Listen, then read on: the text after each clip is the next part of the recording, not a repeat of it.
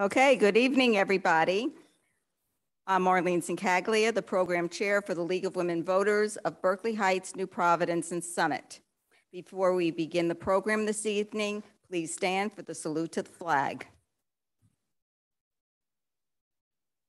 I pledge allegiance to the flag of the United States of America and to the republic for which it stands, one nation, under God, indivisible, with liberty and justice for all. Thank you. The League of Women Voters is a nonpartisan nonprofit that works to empower voters and defend democracy. The League neither supports nor endorses or opposes candidates for office. Founded more than 100 years ago, we make democracy work by protecting voter rights and encouraging active participation. Elections and voting are core concerns for the League of Women Voters. Leagues are committed to providing fact-based information about issues and the position candidates take on those issues to help voters make their own decisions and participate in the electoral process. Any use of the League's name or footage from this event has not been authorized by the League of Women Voters. As a courtesy to the candidates, please silence cell phones and electronic devices. Please refrain from taking pictures or clapping during the forum. The moderator will indicate when clapping is appropriate. Right now, I'd like to introduce you to Michelle Bobrow from the Maplewood South Orange League of Women Voters, who will be our moderator, and Pat Dolan and Patricia Dixon Black, our timekeepers. Our moderator will now introduce the candidates and the forum for part one of tonight's event. Good evening. It's a pleasure to be here with you. I'd like to introduce the two candidates for mayor. Uh, Angie Devanney is the incumbent at this uh, Democrat, and opposing her is Jeffrey Varnerin, um, who is a Republican. And we are going to open, the format for this evening is their opening statements up to two minutes each. And then there are questions that uh, the league has formulated uh, 90 sec uh, 60 seconds for each response with the possibility of a 30 second rebuttal.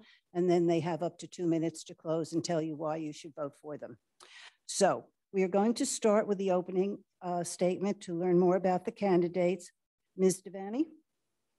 Thank you. Good evening, everyone. I want to thank the League of Women Voters I am Mayor Angie Devanney, and I hope everyone had a wonderful summer. Four years ago, when I decided to run for mayor, I did so because I believed I had a unique set of skills to offer the township. As a former township administrator and decades of experience in government and building relationships on the county, state, and federal levels, I knew two things. I would work hard and I would strive every day to make an impact on our community. I also believe that my experience as a parent PTO president, PAL secretary, and work with charitable organizations would provide me with a different perspective to guide our town forward. Over the years, many things have come full circle. As the trust fund administrator for Union County, I helped to acquire what is now Snyder Avenue Park, saving it from development. As mayor, I advocated to the county to returf the multi-purpose field in 2019 and build a state-of-the-art baseball field in 2021. Today, because of my partnership with the county, we are on the cusp of transforming the old Berkeley Caterers property to a passive park with walking trails, making it a gateway into Berkeley Heights. I also spent time working with the county to recuperate old grant funds through the Kids Recreation Grant Program so our recreation department could get more money what they need to continue to provide the great programming for our community. I initiated several shared service agreements such as our DPW director, dispatch services, Board of Health Services, and Salt Dome, saving $430,000 annually. I fought for and obtained half a million dollar federal appropriation and a $350,000 earmark in the state budget. We hired a financial planner to take a hard look at the debt incurred by the new municipal complex, started building reserves and surplus to plan for the future. We started paying off more debt and added more sources of revenue. With an eye on our finances, okay, thank you. Okay. With an eye on our finances, our administration started to tackle the truly difficult work of upgrading our crumbling infrastructure by looking for outsourced sources- sources of funding. Thank you. Thank you. Mr. Varnerin. Good evening, and thank you to the League of Women Voters for hosting the candidate debate, and to all of you watching. My name is Jeff Varnerin, and my wife Debbie and I chose Berkeley Heights 16 years ago to raise our family. We love this town, and it has given us so much. Now I want to go beyond giving back as a town council member and help move our town forward as mayor. As a son of a World War II vet, I was raised with public service in my blood. I've always been motivated to give back to my community my wife Debbie and I have lived in this spirit as Berkeley Heights volunteers for over a decade. As an involved father and sports fan, I've coached my son Ryan's soccer and lacrosse teams for many years and have probably coached your children as well. My nearly 20 years of volunteer emergency services provides provides me with a unique understanding. Our first responder community should know they can count on me as an ally. As a scientist and project manager at one of the largest healthcare companies in the world, Solving complex problems is my day job. I've built many high performing teams, and I am a strong listener who makes determinations based on facts and data. I have a keen eye for details and am measured by outcomes, not headlines. If fortunate enough to be elected mayor, I will bring the same approach to the workings of our government.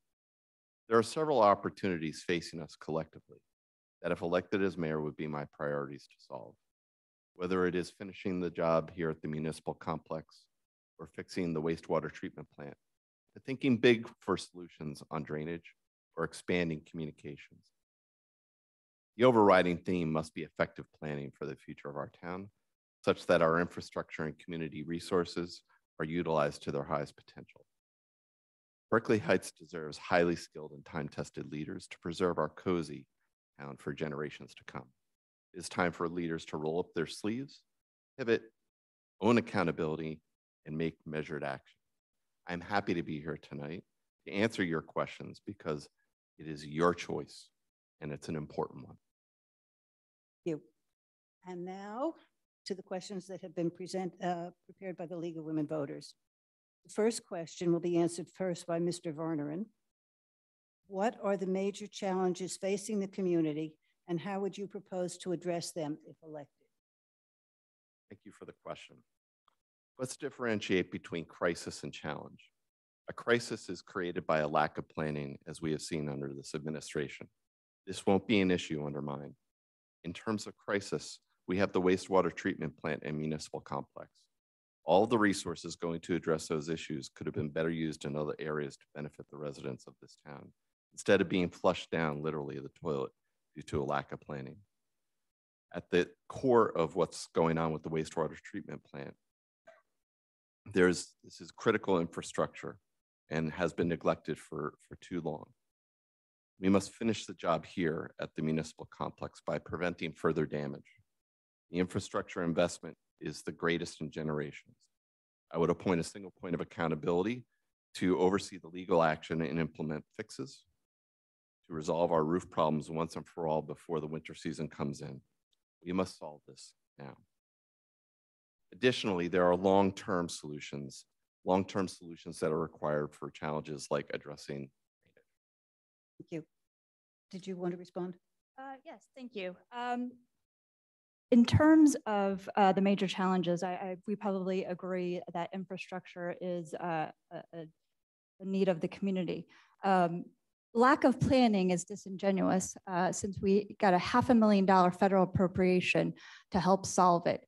Um, we've been working with the state of New Jersey through the Department of Environmental Protection to get projects into the iBank, which is a 0% loan program.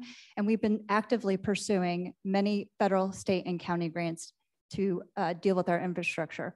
As it relates to the municipal complex, we inherited this building and the developer is the one who is at fault here, not this administration.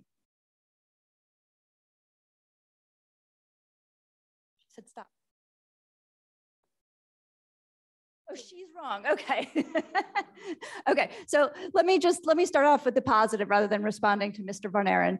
Um, what we've done here that I think is positive, our greatest challenge as this community is taxes and finances, no doubt about it. We've got big challenges such as infrastructure. So one of the things that we did was hire a financial planner in 2019 to make sure that we were planning for the future. We've been building our reserves on an annual basis to make sure that if we have an emergency, uh, DPW, sewer, et cetera, we have those funds. We passed a sewer connection fee that hadn't been addressed in over a decade, generating millions of, a million, more than a million dollars in sewer connection fees to help address the infrastructure as well. Um, so there's been a number of things that we've done very proactively that haven't been addressed in decades, and I'm very proud of that record.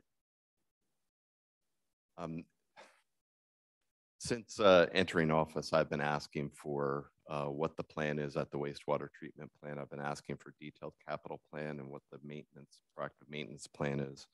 Uh, we've received nothing to date that was of, of meaning. Um, this is why we've been um, probing into the wastewater treatment plant to understand that there have been serious issues and safety concerns for a number of years now that we're having to address as an emergency, which the town, town council declared just earlier this, this year. Next question, which has been prepared, is uh, Ms. Devanney.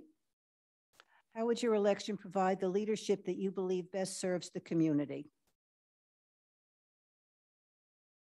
So I think what I laid out in my um, opening statement is what makes me an effective leader for the last four years. And that is that I bring government experience, relationships at the federal, state, and county level that have benefited our community over the last four years. Um, I, I, addressed the half a million dollar federal appropriation for the drainage of on West Side Drainage.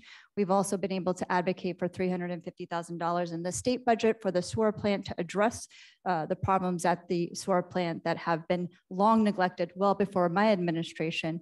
Um, we have been able to recuperate over $200,000 from rec grants that were monies that had gone unused. And we've been able to partner with the county uh, to do things like improve Snyder Avenue Park and to acquire Berkeley caterers to make that a beautiful green space in contrast to some of the development that's uh, been going on here. So. Thank you. Mr. Varner? Um, I'm an inclusive and engaging executive leader who demands accountability for, from those reporting to me. It's my job to surround myself with competent people, give them the resources and the authority to do their day, day jobs. And then it, I expect in return that the management team will produce results that will benefit the community at, at a minimum cost. We are facing large, complex infrastructure projects, and my, that will benefit from my scientific and project management experience. In short, I have jumped right into construction projects, biowaste process, and union contract negotiations and contributed in meaningful ways. I spent most of my industrial career doing the exact same thing. We're going to need this type of leadership to work through the issues at the wastewater treatment plant, municipal building, and drainage. Additionally, I also bring residents along with me. There have been a lot of changes in town, and we need to bridge the new and the old. And lastly, I'm here to protect your taxes. Save that for closing. Uh. Next, how would you encourage a more diverse group of residents to volunteer to serve on the township committees and commissions? Um, first, I think we're very fortunate to have so many wonderful volunteers who serve, um, and I personally share in that, that passion. Um, but I, I, think we have to take a step back and say, do the committees that we have right now work for the majority of residents, or are they meeting specific needs? Second, I know most residents would love to volunteer their time, but they are time constrained. They're busy with work and family. We need to find an easier way for time constrained residents to offer up their expertise, whether it be through virtual participation or part time options. Um, and uh, additionally, I think we need to leverage already existing community groups to fill some of the voids. We don't always need a duplicative government solution to meet the needs of the community. And lastly, I'll personally reach out to the most qualified people and personally ask them. Uh, Thank you for the question. Uh, This, again, is something that I have to say that I'm proud of our record on encouraging new and diverse people uh, and appointing them to boards and commissions. Um, We created the Economic Development Committee, that's a new committee under my administration. Uh, We created the Senior Affairs Committee, which is a new committee under my administration. And we created uh, what originally started as the Truth and Racial Healing Committee is now the Truth and Community and Inclusion, sorry, uh, committees. So we have repeatedly over the last four years um, delved into the community and asked people to get involved and encourage them to apply. And we have had a number of diverse, whether it's people of color or women or different people that just haven't gotten involved before, encouraging them to come and be a part of our uh, longstanding committees as well as our new committee. So I'm proud of that record.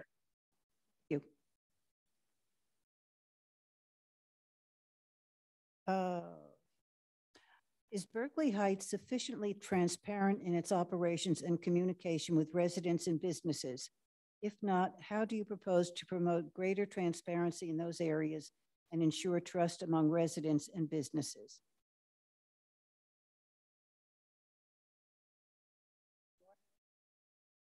Uh, Again, I have to point to our record. I think that uh, communications is something that has uh, been a strong tool of this administration in terms of using different platforms, not just the township website, but social media platforms to get uh, information out. We've been using the Berkeley Heights Business and Civic uh, Organization to get the word out uh, to various businesses when there were, we were going through the pandemic and there were grants and other loan types of programs that were available. We were working with our community partners, our community business partners to do that. Um, the Economic Development Commi- Committee has also been a great vehicle in list building uh, and getting the, the word out to uh, our businesses. But, you know, Liza Viana, I just need to stop here and give her a hand because she's the one who really has improved. Is there room for more improvement? There's always room for more improvement. Um, so we'll keep working towards that goal. It's the sentence. That's okay. I'm a rule follower. Um, I, I bend rules. Um, while some aspects of the township communication, I, I think I can agree here, have improved over the over the last several years, Angie. I think there still is more to be done. Um, I have implemented many communication strategies and platforms over my career in the, in the private sector. Bottom line is that taxpayers deserve to hear from all of our elected officials and have a centralized, reliable location for key information. A resident should not be required to have a social media account to find out breaking news. Our communication platforms must be consistent, broad reaching, reliable, and up to date. Uh, The next question is, how would you recommend modernizing, modernizing Berkeley Heights operations while honoring the tradition and history of our township? All of our efforts need to be focused on, on planning to deliver uh, an efficient form of government. Uh, there have been a, a, number of items that uh, are inefficiencies when, whether it be drawn through people or process. And the reality is that we need to focus our attention on placing effective leadership and management over the places and our government spend so that we can get the most out of our tax dollars. Right now, we're a little bit upside down with part-time heads with about two thirds of our spend. And we need accountable leaders that are going to be there for the, the full duration to drive efficiency into our operation. Thank you. Again, this is where I think my experience in government has uh, really paid dividends. Um, we've done a number of things at Town Hall that have improved uh, the operations and modernization of, of uh, our operations. DPW shared service with Joe Graziano is most certainly one of them. The DPW uh, is doing a great job, and it's probably the one place that I, I get repeated uh, compliments. Second to that is uh, our police department, the community policing unit, their accreditation that they're uh, pursuing. I think we can all agree that the Berkeley Heights Police Department and their operations are, are outstanding. As it relates to um, honoring our history, I, I neglected to to mention that we also started a historic preservation committee under this administration. And I know that uh, the Littell Lord has never been so looked after, and um, we have been very uh, very lucky to have gotten so many different grants to help benefit. And then I think there's the cultural uh, history, such as Mount Carmel, and making sure that we're doing things like raising the Italian flag and raising the Irish flag for uh, for uh, St. Patrick's Day. So I think that's how we're honoring our history as well. Uh, The last question that has been prepared is, what improvements, if any, to Berkeley Heights infrastructure are needed? And what would you recommend to accomplish this? Um, that, that's something that we've been tackling since, uh, since day one. Um, the infrastructure has, uh, really been kicked down the road. That's why there's such a severe problem at the west side. Um, the Greenbrook, Berkeley Heights didn't even belong to the, or does not belong to the, the Greenbrook, uh, Flood Commission, which impacts the Emerson Lane area. Uh, Passaic River uh, Coalition, uh, something that we just started this year. It's the Mayor's Coalition working with uh, congressional leaders and county leaders to de-snag and de-salt the, the Passaic River because this is a multi-county approach um, to, to addressing that, that issue. So what we've done, again, is the same thing. We hired a financial planner to look at, you know, six years ahead, what's our debt? What's falling off the books? Where can we use the infrastructure bank through the state of New Jersey with those 0% loans? What federal appropriations can we get, not just this year, but subsequent years? Where can we get earmarks in this, in the state budgets? How can we think outside of the box and not just come to the taxpayers, uh, but go to other sources to make sure that we're addressing infrastructure needs? Thank you. Um, there are a variety of infrastructure uh, issues. We've both, I think, uh, identified several of those in prior uh, answers, but specifically, uh, the wastewater treatment plant and the municipal complex are two crises that we need to solve immediately. And uh, getting funding a couple years out for these is is not going to help us. We need the funding now. But let's let's talk a little bit more about drainage because I think we have to think big for solutions here. Um, this is not just an issue for a sliver of the community in the West Side drainage area, but it is an issue across the entire town. And in fact, this is a regional issue that is even bigger than Berkeley Heights. It's great that a small piece of funding was secured, but we need 20 times that for just the West Side Drainage Project. Small fixes are going to result in unintended additional, potentially more devastating problems that we are currently blind to. We need a comprehensive plan that includes funding, which will only be realized through partnership with our, with our neighbors. Thank you for sharing your views on these. And now it's time for closing. So tell us why we should vote for you and why you're the best candidate. Um, Mr. Mr. Barnieri. Great. Thank you to the League for hosting this event and to Angie for the lively exchange and for the services you've provided this community. Bravo. I pride myself on being a hard worker and problem solver, but importantly, in getting things done. I have demonstrated the ability to listen and hear all perspectives to get to action as a town councilman. I want only the best for Berkeley Heights and to ensure we make it a place that everyone can call home for generations. In my tenure on council, I have brought in experts that leverage cutting edge technology to clearly document problems and a recommended path forward for the municipal building. This should have been done at the first sign of problems, not years later. This was a lack of effective planning and administration. Let there be no doubt there won't be a lack of planning when I'm mayor. I've connected the, with legislators who've advocated for funding for the FLARE project. I've ensured the administration is proactively monitoring for harmful odors with the wastewater treatment plant rather than expecting public complaints to trigger action. Our residents should not be required to have a personal relationship to get results-based action. I've required the justification for expenses paid by this town rather than wish list spending. And lastly, I've introduced technology-based solutions as opposed to paper processing, and if implement, implemented by the administration, will greatly reduce costs. I'm excited to be working with Manny and Michelle and proud to have these two experienced professionals on my team. Their business acumen and objective perspectives will be crucial and will be crucial to the success of our community. They have done this. I have done this, and we will do this together. I am running for mayor and honor, honored to be a member of this team, and I'm asking you to vote column A in support of Manny, Michelle, myself. Thank you very much, and we look forward to your support in making Berkeley Heights the best community. and take a different tact.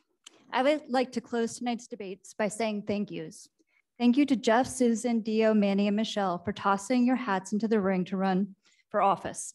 It is not easy to put your name on a ballot, exposing yourself to public scrutiny. Public service takes a toll on your family, professional life, and social life. Thank you to my right-hand person, Lazaviana. To say that she is a workhorse and never stops is a gross understatement.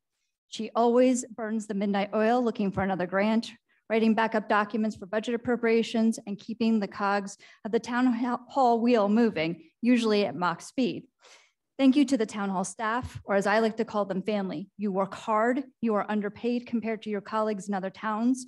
You have such pride in our community, and you give every ounce of effort and caring you possibly can.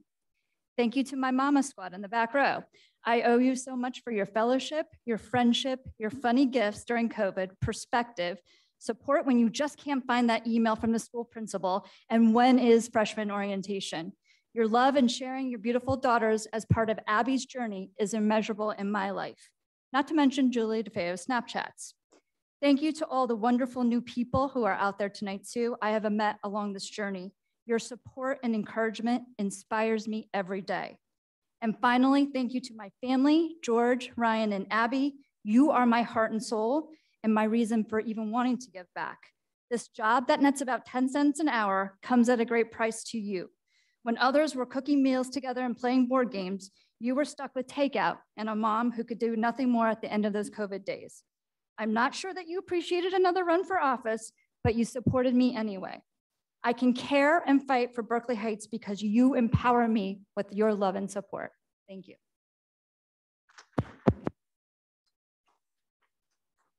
Thank you to both of the candidates. You have very differing and similar opinions. You have a choice to make. As I like to say, you are hiring one of them. So make your decision as to who you think best fits your the qualifications that you have for your mayor.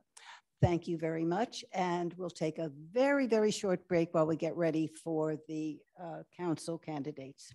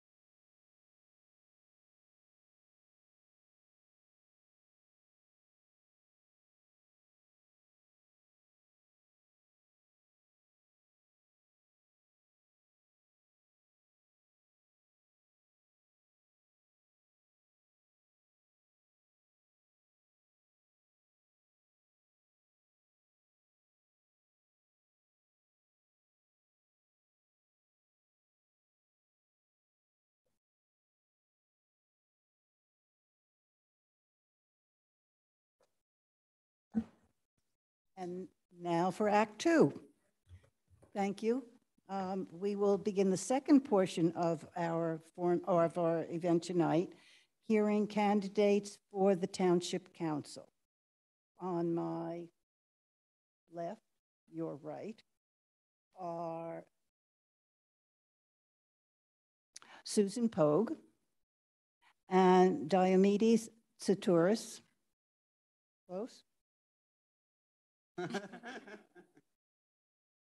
And uh, their opposition, Manuel Couto and Michelle Bartiromo. The format is as it was before. They will each have two minutes for an opening statement.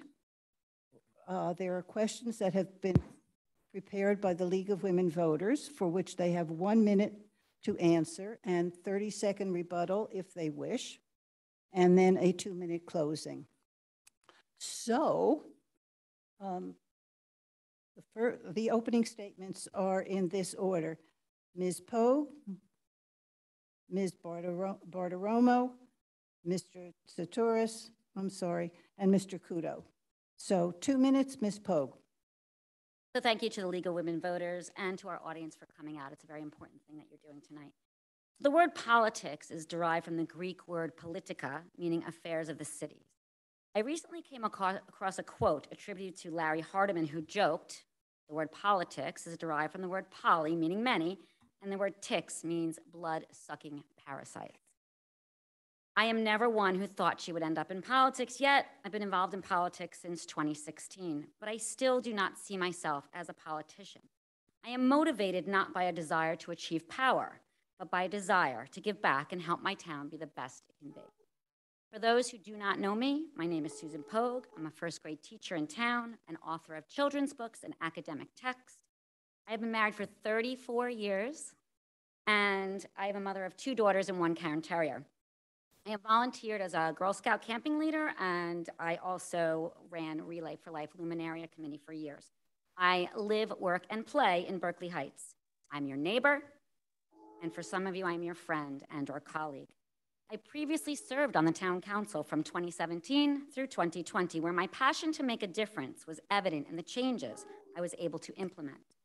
I analyzed outdated sewer ordinances and worked with the director to develop an updated system for inspections. I sponsored the no knock ordinance, which makes a difference for residents who do not want to be bothered by outside solicitors. I created the award winning volunteer led grants committee, which seeks and successfully received funds to enhance the livability of our community. While on council, I was both the council VP and served as a representative to the planning board and a member of the master plan committee, subcommittee, sorry.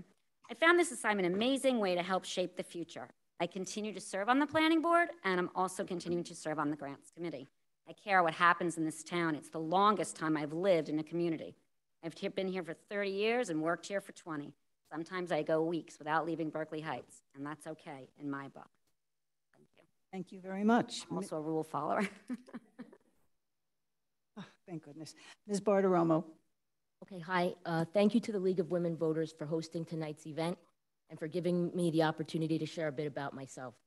Before I begin, I would like to wish every candidate good luck. I look forward to answering questions from the public and look forward to hearing the answers from all the candidates. My name is Michelle Bartiromo, and I'm running for town council because I love this town. I love this community, and I love the people that make it so great. I'm a lifelong resident of Berkeley Heights whose roots go back over 100 years. The house I currently live in with my husband Dan and my two sons, Sammy and Benny, was built by my grandparents and built by my great uncle Benny. I have fond childhood memories of running through my grandmother's kitchen, grabbing a meatball, and watching her cook. Family and friends are everything to me and are always welcome into my home. Anyone who knows me knows this to be true. I want to bring this same openness to town council. Helping the community is something that I have done my whole life, and I don't plan on stopping. As a young adult, I built houses for Habitat for Humanity, volunteered for many years at the Amber Paizo 5K run, and coached my son's PAL soccer teams on the same fields I played on. In fact, I attended Woodruff School, Columbia School, and Governor Livingston, and happy to have my sons following in my footsteps. Another fact about me is I dress up as Woody the Owl for Woodruff School, the school mascot, for six years, and that was a fantastic experience for me. For years, I volunteered at many other town events, such as cooking hot dogs at the PAL and Memorial Day parades, to helping with the bocce ball tournaments at Peppertown Park. In my professional career, I have worked as a manager for the same company for 25 years. I resolve conflicts daily and am known for my listening skills, despite what my husband might say. My career experience is very transferable to town council. I have mastered how to listen, all while remaining calm in difficult situations. I review contracts and work with attorneys daily. I led an arbitration team and currently sit on an internal appeals panel.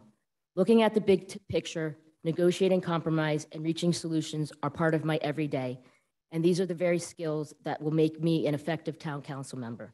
I'm excited to be participating tonight, and I'm looking forward to your questions. Thank you. Um, Next, Mr. Tsouras.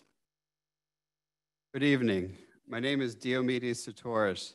I'm running since my name is so easily pronounceable and can easily fit on a lawn sign. But you can call me Dio. Since I've been here for three years, I've seen the strengths of our community, and I've thought long and hard on how we can harness these strengths to chart a better course for the next few years, where we stay a strong, thriving, and dynamic town. Under Mayor Devanney's leadership, Berkeley Heights has become a more inclusive, safer, greener, and financially prudent community. It, is, it would be an honor to serve with her and continue this progress. As an attorney, I've advocated for people from all different backgrounds, including immigrants, crime victims, and law enforcement officers. And if elected, I'll be the only attorney on town council. Advocating for residents also means understanding the complex issues that, have come, that would come before the council. As a recipient of bachelor's degrees and master's degrees in public administration from Cornell University, I'm uniquely suited to produce sound public sector governance.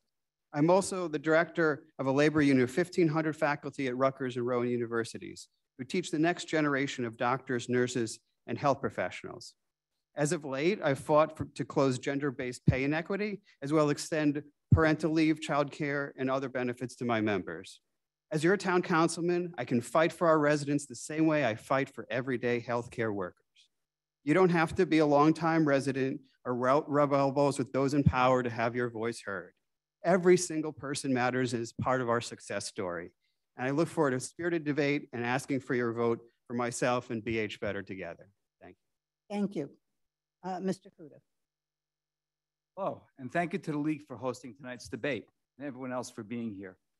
My name is Manuel Couto, and I believe in working with all of you to keep Berkeley Heights the great town it is, now and in the future. I've kept my word the last six years on my volunteer work, supporting the fire and rescue squad, New Town Hall, at the famous Winter Walk, supporting our local businesses with Restaurant Month, the new pool, YMCA, the town concerts, and the parades. My involvement with various township committees, Peppertown Park, Memorial Park Committee, the Economic Development Committee, the Downtown Beautification Committee, and on several township cleanup projects that keep our town beautiful. I have over 30 years experience working as a real estate professional and in running a small business. I My quit. wife Marie and I moved from Newark to Berkeley Heights over 24 years ago. We moved here to raise I quit. the schools, for the parks, and for the beauty and value found in this I growing quit. inclusive community. I ran then and I run now because I want to make a difference. We residents deserve to get the greatest return from our tax dollars on the state, federal, and local levels and go after all grant opportunities that exist. I've worked with various CFOs in our town to bring a balanced budget, cutting where needed, and even brought in a zero tax increase one year, all working with a bipartisan council. I've always looked to collaborate with the people of Berkeley Heights, regardless of party or politics, and I know that affordability, inclusivity, and safety are the three things we all are working toward. I'm looking forward to hearing your questions and to a hearty debate. There's still so much to complete. Thank you.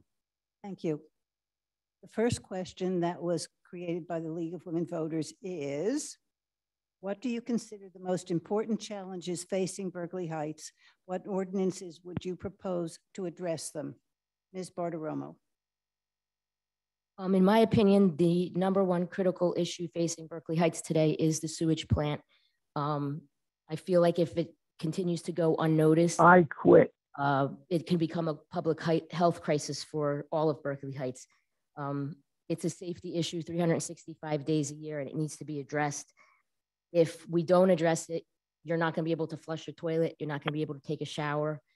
So, as far as ordinances go, I, I, I don't think that ordinances are necessarily the answer to everything. I think that it takes problem solving to come to a solution. So I would rather problem solve myself and come to the solution than look to have a law passed. I think you can get more done that way. Thank you. Uh, Ms. Pogue? So as we all know, sewage and draining, drainage um, are big infrastructure problems. And I think that the mayor has done a great job tackling infrastructure. A lot of it, as she said, was kicked down the road for a long time. And um, the fiscal plan that's in place now can help as we apply for grants and utilize that New Jersey infrastructure 0% loan. Um, one thing, um, Michelle, I love that you're talking about the sewer because one of my favorites is you know, fog, fats oils, and grease. And every resident can actually do something to help our sewer system by making sure that they're not dumping fats oils and grease into their sinks and toilet bowls. So we agree on that. Thank you. Mr. Couto? Question one more time, way. Yes, I certainly can. What do you consider the most important challenges facing Berkeley Heights? What ordinance, ordinances would you propose to address them? Well, when I was first elected, it was the roads. Now it's the sewer plant. Planning and vision is incredibly important, both short and long term. By planning for the issues, we can prevent them and not be reactive to emergencies and breakdowns. Chasing funding, looking for grants during emergencies is not realistic. These issues and its troubling was not brought to the council's full attention immediately, along with possible solutions to review. We are still waiting for the plan and the health of the wastewater treatment plant. That is why we now have a crisis. Uh, transparency, problem solving, vision, communications are planning skill sets that I bring to the table. But one thing when you mentioned or, uh, ordinances to solve the issues, ordinances don't solve issues. It's planning and planning and cooperative work together, not just laws. Thank you. Thank you. And Mr. Tsouras? Yes, I, I would agree with my, um, with uh, what has been said so far. Uh, definitely uh, infrastructure. I can see it firsthand in my own neighborhood. Uh, how many sidewalks, um, you know, need to be repaired how many different things around town um, just hasn't been there because we haven't invested the time and money and those problems they fester over time and uh, thanks to mayor Devanney's leadership uh, we've been able to catch up um, and she was able to succeed in doing a lot of this stuff even though there was a global pandemic happening at the same time um, so it's important that we don't go backwards um, and make the same mistakes and, putting problems off and have a you know a hands-on approach to these these critical problems Thank you. The next topic is, how do you plan to maintain property taxes while meeting the increasing needs of the residences? Uh, Mr. Couto.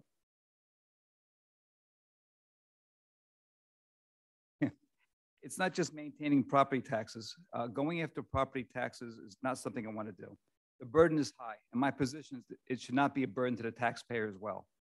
Streamlining services, utilizing best practices, and reviewing what other towns are doing to make it work is something that is constantly being done and needs to continually be done. That and looking for funding from grants and utilizing not just the portal from the county, but those from the League of Municipalities and from other private and public sectors. We need to constantly monitor those things to keep the taxes comfortable for our residents. No stone should be left unturned. And that sometimes includes making the rough decision and making cuts where needed. I've I think I've done that before. Thank you. Uh, Mr. Tsouras? Yeah, I think uh, one thing that we've done really well the last few years is um, we've been able to access other revenue sources, federal uh, sources of funds, grants, other things. Uh, that's actually helped improve our bond rating.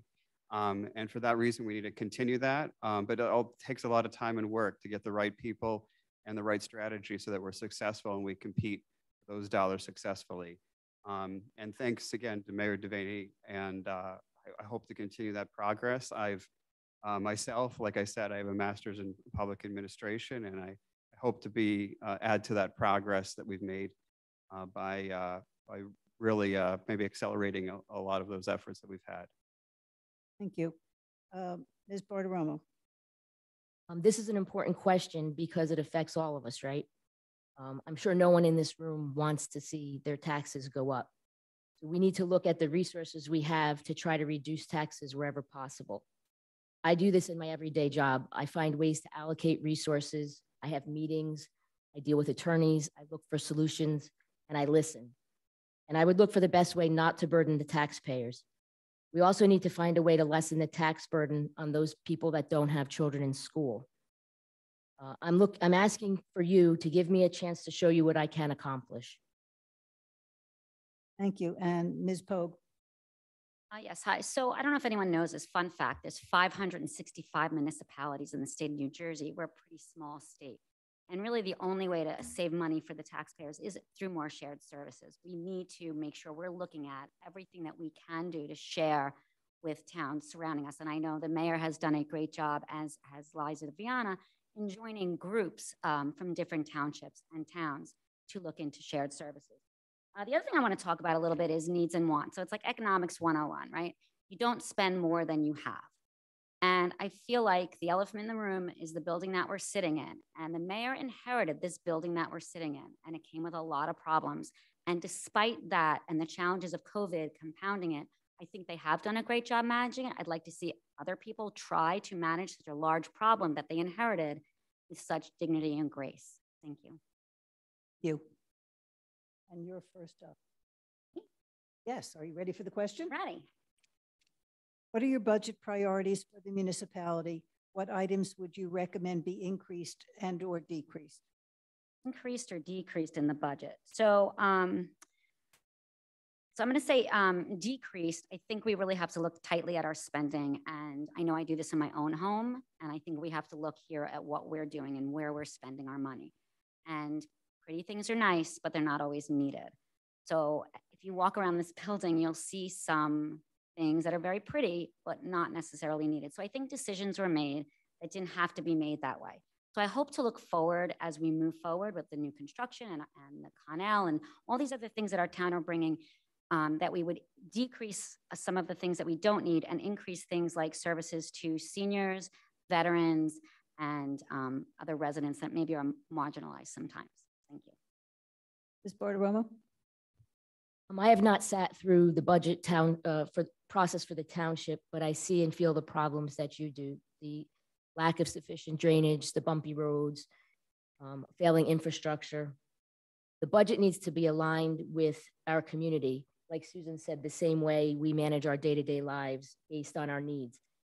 The budget needs to be transparent and fiscally responsible. We need to make sure we have the tools needed to perform the job effectively and efficiently. I'm all about teamwork and listening to the ideas of others.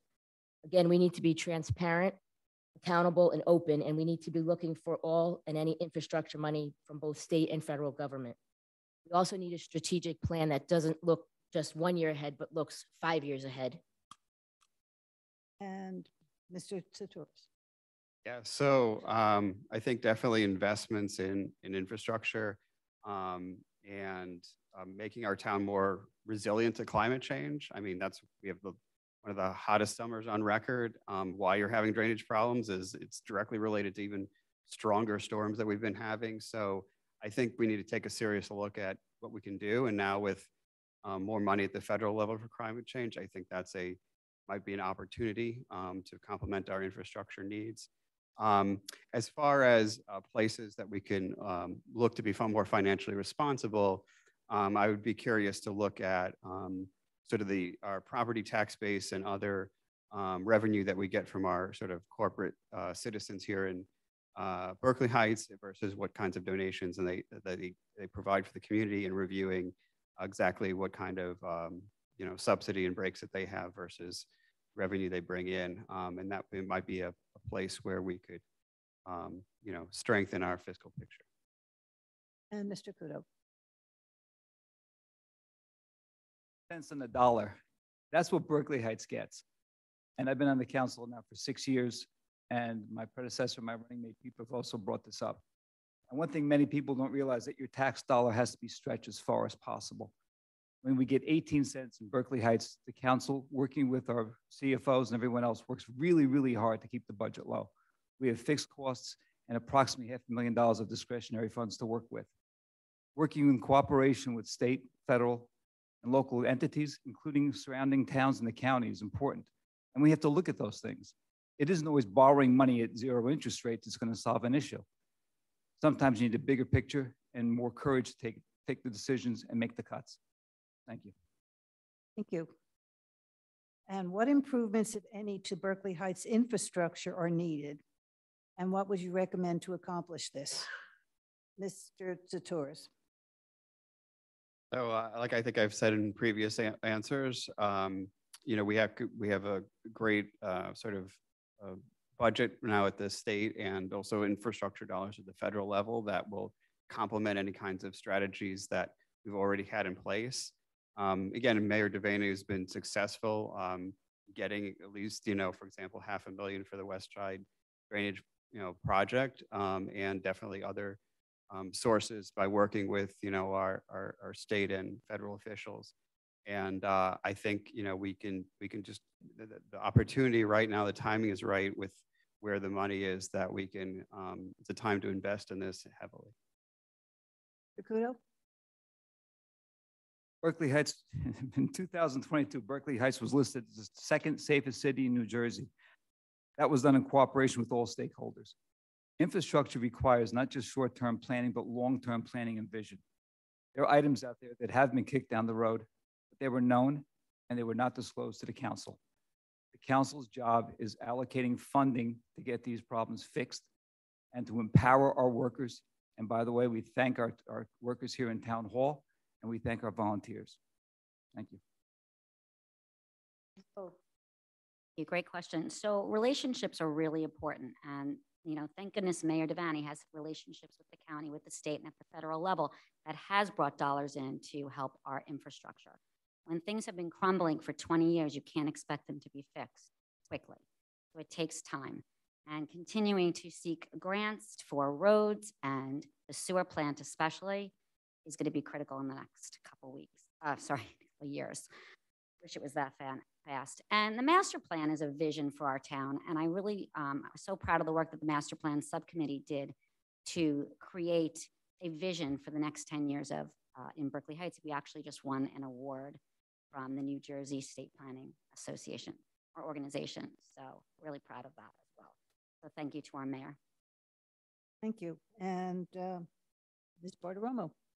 Okay, thank you for the question. Um, I think the crisis in town right now is the sewage plant, but the systemic issue is drainage. We need a comprehensive drainage plan for all of Berkeley Heights, not just a small area on the west side. Um, as a lifelong resident, I have seen the devastation of flooding, and from my job in insurance, I've seen the devastation from flooding. I have relatives that live on Dogwood Lane who consistently flood.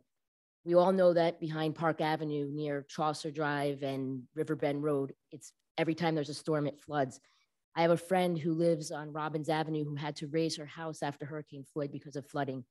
So we can't just study a small area of Berkeley Heights. We need to study the entire town and come up with a comprehensive plan for all of Berkeley Heights.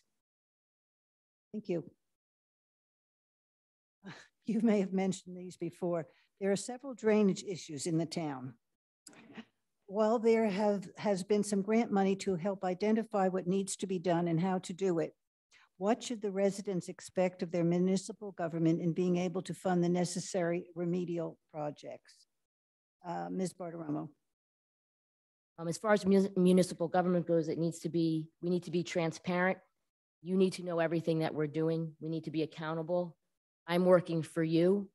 So I need to be accountable for my, for my actions and I need to be accountable for everyone who's working for us. And we need to be open. The taxpayers of, of Berkeley Heights are our number one priority.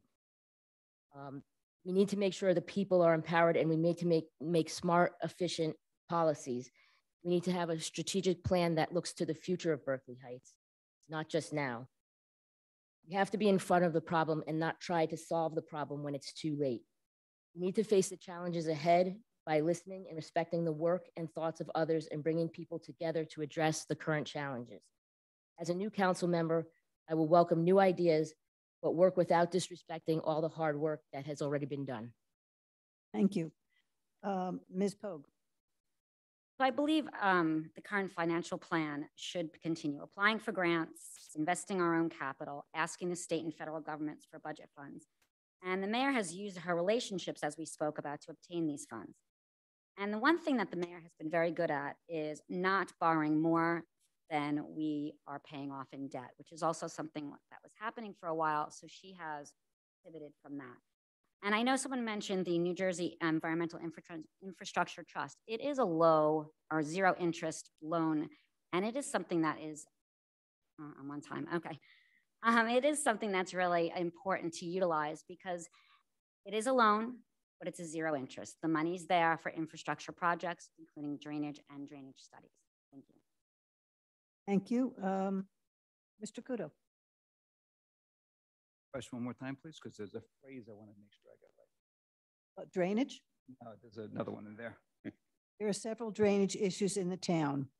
While there has been some grant money to help identify what needs to be done and how to do it, what should the residents expect of their municipal government in being able to fund the necessary remedial projects?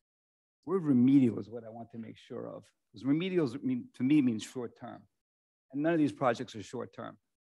Right now, we have to identify properly what the problem is.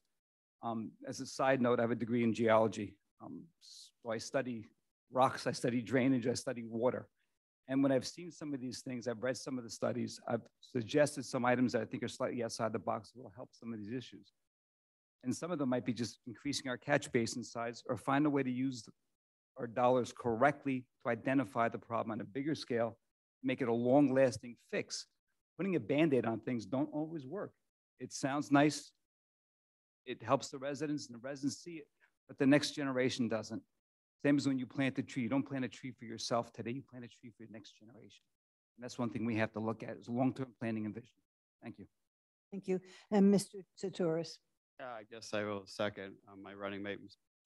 Pogue said. Um, and, um, you know, uh, it- these projects do take, you know, a lot of time. And I think you know, communicating what those expectations are to residents is important. I think we can do a little bit better job of doing that. Um, even stuff in my own neighborhood right now, uh, you know, I know it's not part of the town per se, but the PSE&G is, you know, replacing a whole gas pipeline right now, and it's disturbing uh, a lot of uh, what we're having in the neighborhood currently. Um, but there was no communication from PSE&G to to our, our residents, and I think when we do major projects, there should be better communication and understanding when things need to be replaced and how long it'll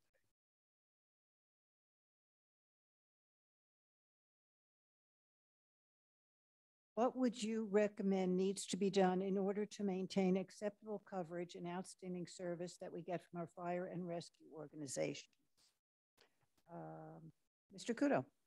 Well, first I want to say thank you very much for our volunteers. Uh, Berkeley Heights and the Rescue Squad and the Fire Department are both 24/7 volunteer-based organizations.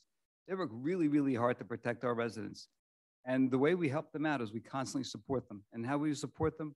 Rescue Squad asked us for money for LoSAP. We funded that.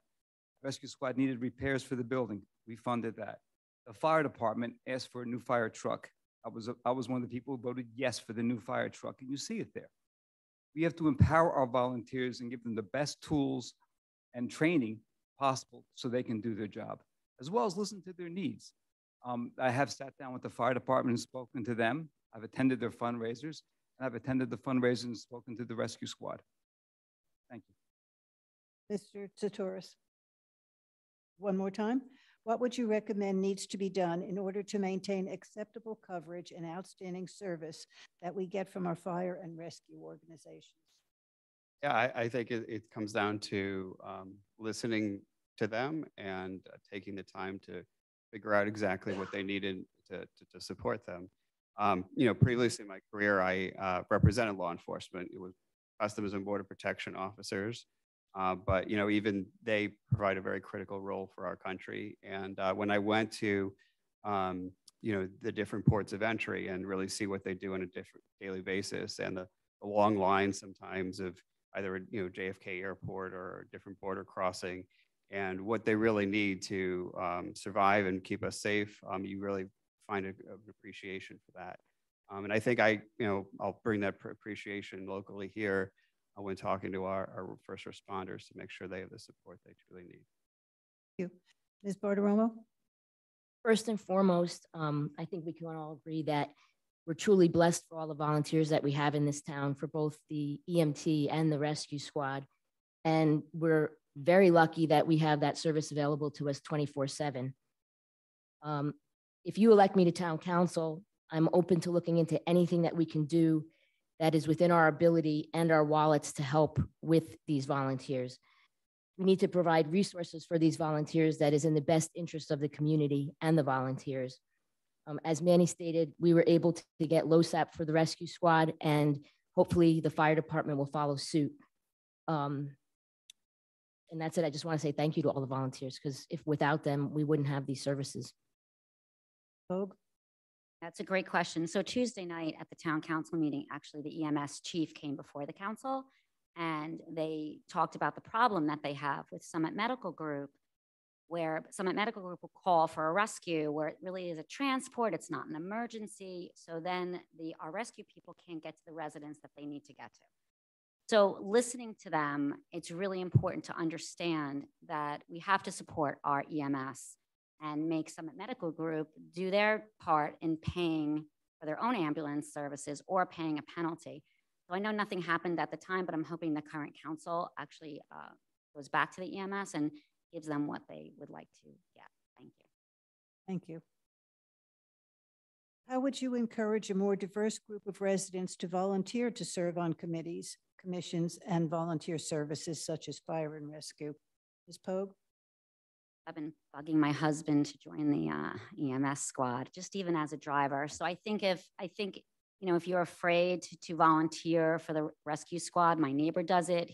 He is fantastic. He's so committed, but his term is almost ending. So I think anyone just talk to your friends and see if we can get some more support. That's another way to support the EMS is volunteer, and you can just drive. You don't have to deal with the other stuff if you're not comfortable.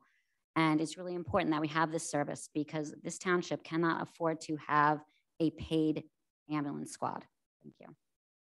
Uh, Ms. Bartiromo?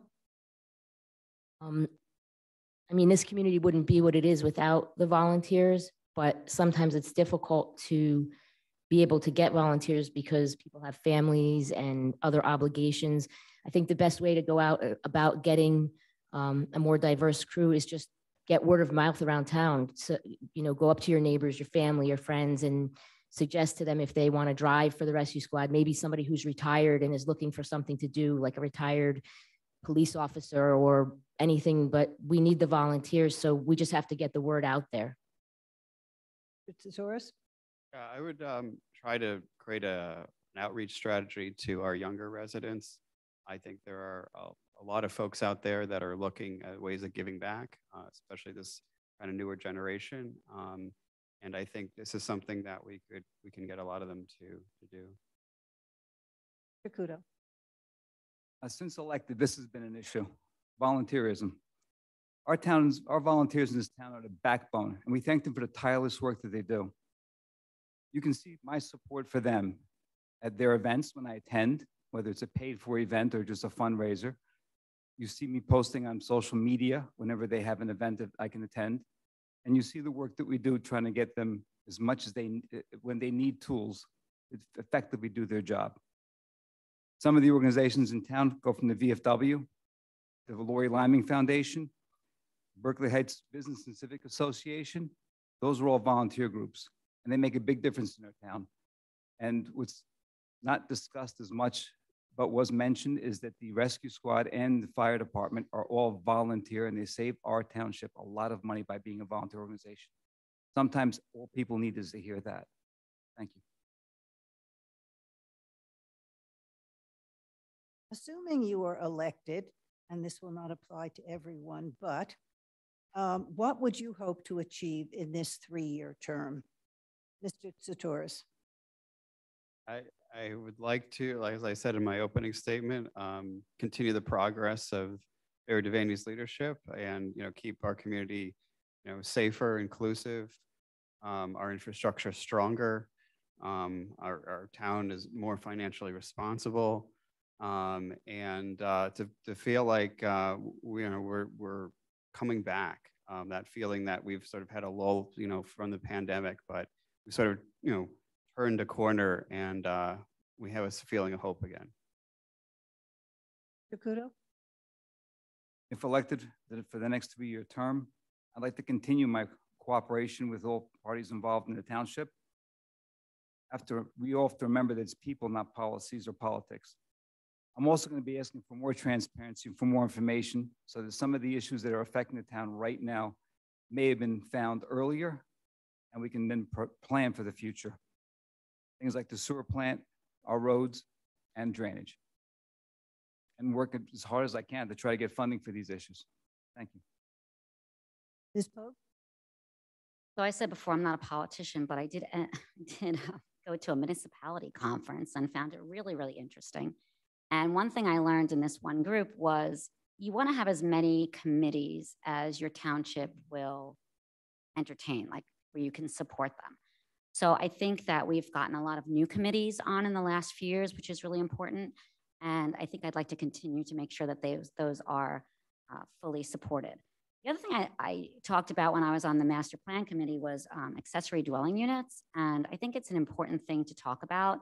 An accessory dwelling unit means you can have a place in your house for your 20 something, 30 something child where they have their own space and you have your own space. And also, a senior citizen can um, stay age in place in their home and can be a companion or have a companion. So that's something I'd like to really look into is, is ADUs. It's the, it's the smart planning for the future. Thank you. Bartiromo? Um, if given the opportunity to be elected, um, I think we need to focus on the infrastructure, the sewer plant and drainage. And I would just like to say that this is not about politics for me. This is about Berkeley Heights. I'm not running with any grandiose political aspirations. I'm running for you, the people of Berkeley Heights. I have some good ideas and I'm present for you. And I want you to be able to approach me at any time. I'm here to listen. And any issue you bring to my attention, I promise you I'll bring it to the council and we will address it. Thank you. It's time now for your closing statements. So I'm really anxious to hear what you have to say and why we should vote for you. Mr. Couto. All elections are important, and what happens in the election booth is in your hands. Today, I'm asking for your vote and support. What I said three years ago and six years ago still holds true today. We live in a great town. It happens because people care deeply about this community, and we work together to keep it that way. That includes residents, businesses, and most importantly, our volunteers. Notice I use the word together. We need to be watchful of our tax dollars and find ways to bring all st stakeholders to the table to discuss, to listen, and to create a vision for the future. That includes our infrastructure and long-term goals.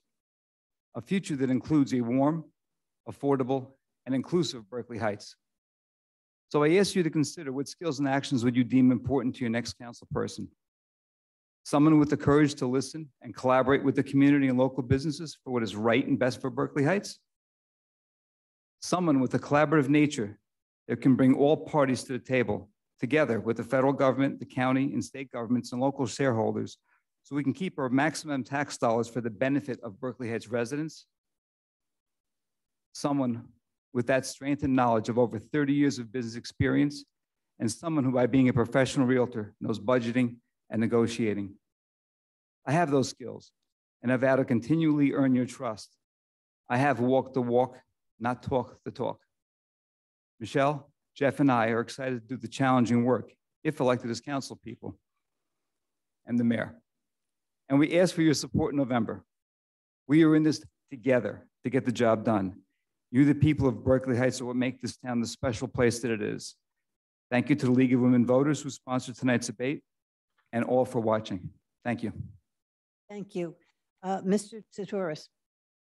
Thank you so much uh, for allowing me to be here tonight and for this debate. Um, I'm glad the League of Women Voters is doing this even at a much lower local level. I've always seen these debates on TV, but I've never really appreciated them or been in one and uh, such an intimate role. Um, I'm also very pleased that there seems to be a lot of uh, agreement, um, at least in this debate, over issues such as you know, infrastructure, um, even among that, where you know certain issues like drainage and the sewer plant. Um, and even though there's sort of agreement on what the priorities are, I think there's a contrast on who can actually deliver on those. And I think Mayor uh, Devanney has done a, a really hit it out of the park the last few years Um, and we should, we should appreciate that because it's one thing to say something, it's another thing to deliver on it. Um, and I think, uh, you know, uh, through our ticket, we can, we can deliver. Um, I've tried to deliver for our, union members my whole life, uh, you know, and both as an attorney and uh, uh, in my current position. Um, and I think I, I, I can advocate in the same way that I've done all my life um, for every single resident. Um, I know that, you know, sometimes local government isn't something that people relate to.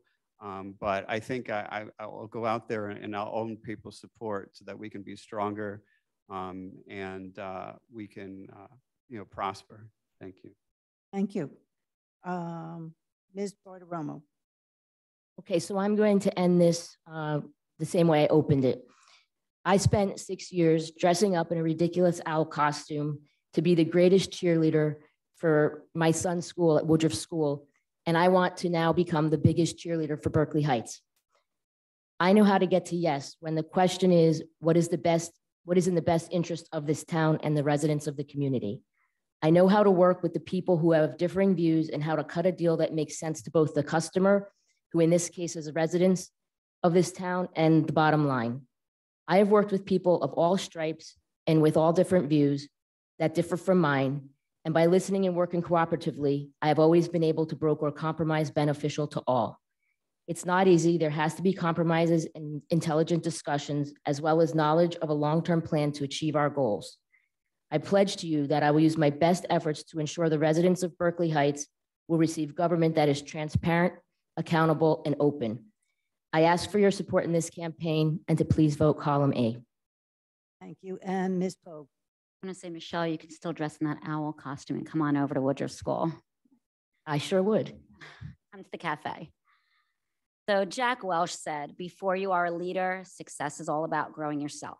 When you become a leader, success is about growing others. As a membership of a leader, as a member of a leadership cohort during the last three years, I learned how to better communicate with adult learners by understanding we all have different ways of knowing. Your ways of knowing are how you make sense of the world. I believe my leadership skills, creativity, and energy can bring an integral and needed perspective back onto the dais. Our community must exist to support the people that live, work, play, and learn here.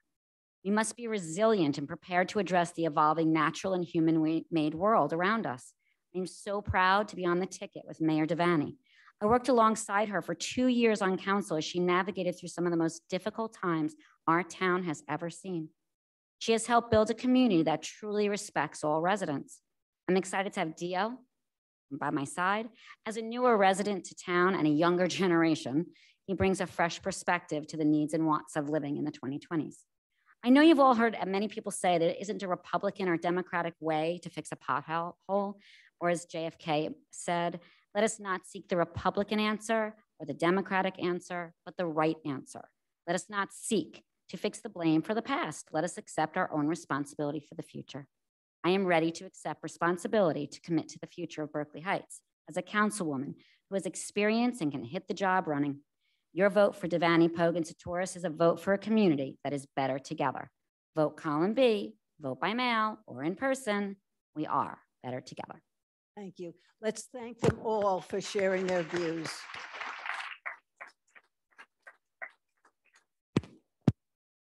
You have a job before you to determine which of the candidates you would like to represent you on your town council. Um, I urge you not only to vote uh, by yourself, but to encourage others because it is important, it is imperative that we all take part in the process. And now from League of Women Voters. Uh, The league would like to thank the candidates first and foremost for their participation.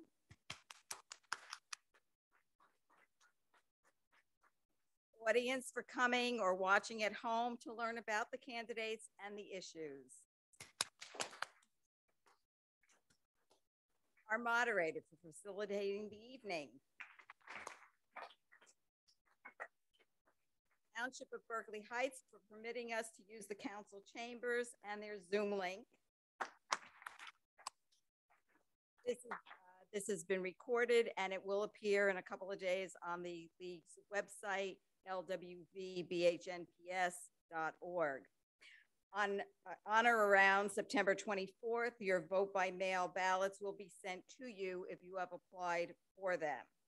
Early voting starts October 29th and ends November 6th.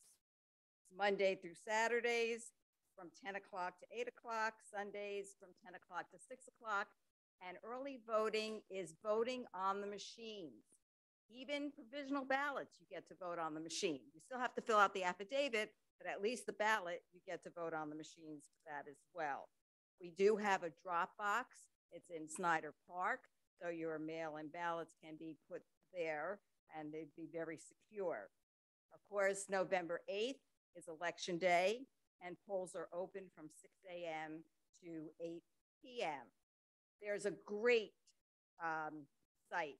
Called Union County Votes, and everything you want to know about elections, whether you're registered to vote, to get a voter registration form. Uh, where are the early voting sites? There's seven in, in uh, Union County. The closest one is in New Providence at the DeCorso Center. And you can vote as a Union County um, registered voter in any of these particular sites. So I strongly urge people to go to Union County unioncountyvotes.org and get the information about uh, learning to vote.